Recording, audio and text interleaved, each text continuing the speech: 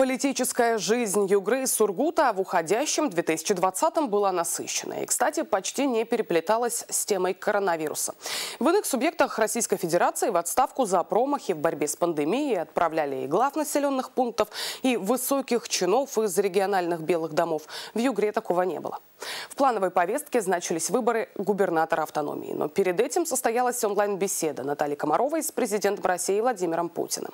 Тогда он поддержал решение своего подчиненного выдвинуть свою кандидатуру на высокий пост. Как и положительно оценил ряд предложений, которые глава округа презентовала главе государства.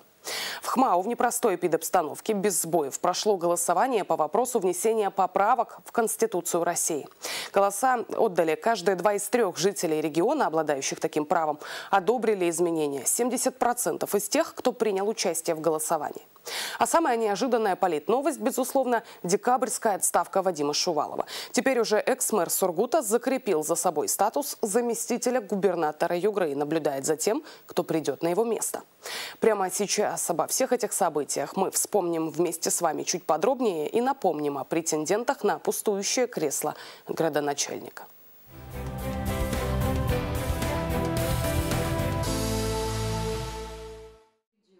Знаковых политических вопросов в Югре в уходящем 2020-м было несколько. Пожалуй, главный для региона – кто и в каком направлении поведет его дальше. Наталья Комарова впервые уверенно и публично заявила о своем намерении продолжить работу в автономии, беседуя с президентом страны в июне этого года. То был отчет о собственной деятельности на посту, экономические итоги, исполнение задач по социальному развитию и нацпроектам. По многим из этих строечек Югра в лидерах различных российских рейтингов.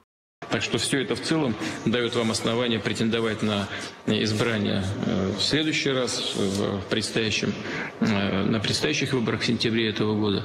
Могу пожелать только вам успехов.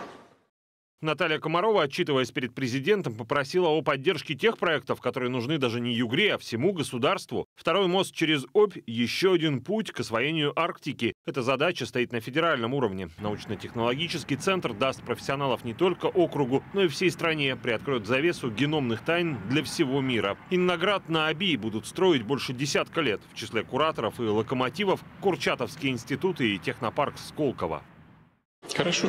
Я не только ничего против не имею этого, наоборот, согласен и поддерживаю. Ну, конечно, Наталья Владимировна, нужно проработать будет с министерством, потому что в ведомстве могут быть свои представления о том, где реализовывать подобный проект э, наиболее предпочтительно. Но, повторю еще раз, я согласен и э, знаю, что площадка Сургута для этого подходит. Примечательно, что вместе с губернатором в гонке принимали участие те же соперники, что и пять лет назад. Алексей Савинцев и Михаил Сердюк, несмотря на большой политический и управленческий опыт, по результатам подсчета голосов на выборах марафон проиграли. Большинством голосов на должность губернатора Ханты-Мансийского автономного округа Югры избрана Комарова Наталья Владимировна.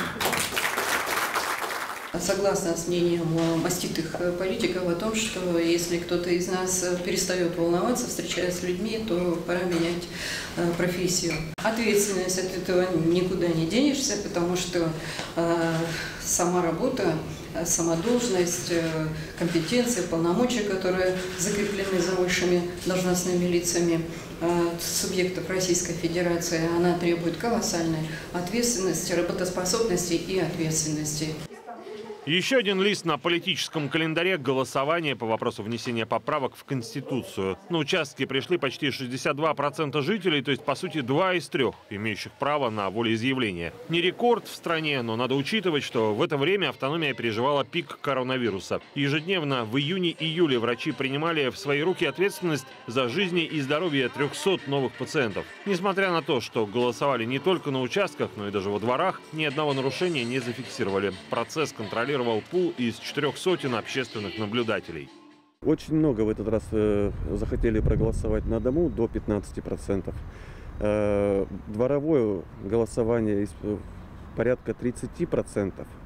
Э, все зависит от поселения и от погоды. Мы по максимуму постарались выставить вот эти 6 дней наши избирательные участки на улице, то есть они ходили по дворам, придомовые территории, да, но, к сожалению, не везде это получалось, поскольку погодные условия нам немножко помешали.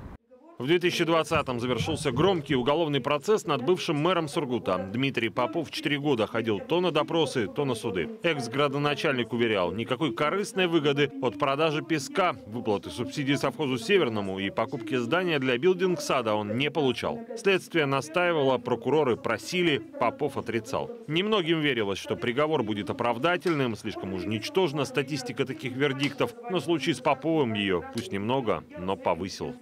Суд приговорил оправдать Попова Дмитрия Валерьевича по предъявленному обвинению в совершении преступления, предусмотренного пунктом В части 3 статьи 286 Уголовного кодекса Российской Федерации по факту реализации э, песка ЗАО компании КС в связи с отсутствием его действия к составу преступления. После решения суда первой инстанции прокуратура обжаловала оправдательный приговор, но апелляция лишь подтвердила невиновность Попова. Сам он, отвечая на вопрос, что изменил бы в жизни, говорит, что скорее не пошел бы на выборы 10 лет назад, чем поменял принятые собой решения. Если бы я что-то поменял, я бы, наверное, поменял бы события 2010 года, 2010.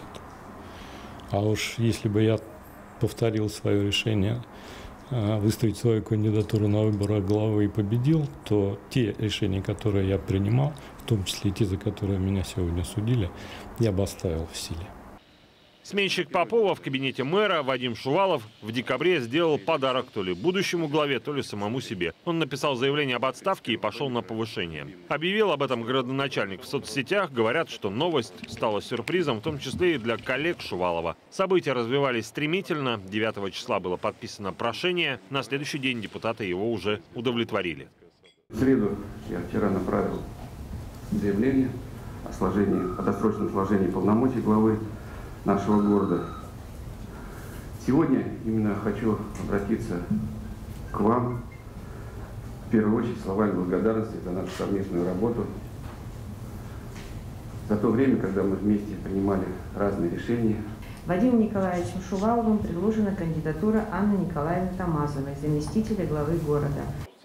Анна Тамазова завершает этот год в должности, о которой еще в начале года наверняка не думала. Слово ее, выходца из образования, называют одним из вероятных кандидатов на то, чтобы возглавить город, но уже без приставки ИО. Имя нового мэра станет известно уже в 2021-м. Знаковое заседание парламента пройдет 18 января. За четыре недели до этой даты в шорт-листе претендентов уже четверть сотни фамилий. Год БК, кстати, сулит будущему градоначальнику путь к успеху через упорный труд. Легкими дорогами точно не придется. Дмитрий Круковец, Александр Бабаев, Сергей Куликов. Специально для программы «Новости. Главное».